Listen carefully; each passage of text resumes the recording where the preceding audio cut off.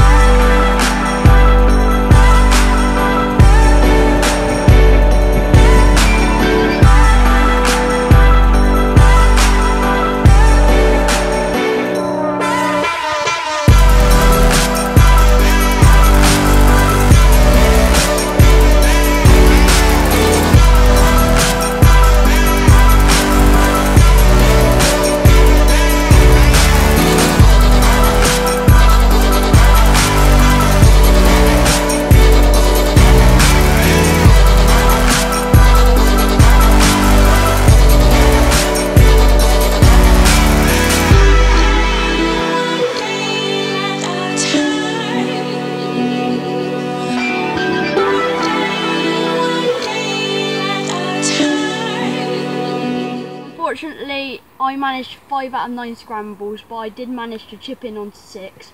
I had a like a 10 foot or 10 foot putt on 9 to go into a playoff, but I missed it unfortunately. So, stay tuned for the next video. Goodbye.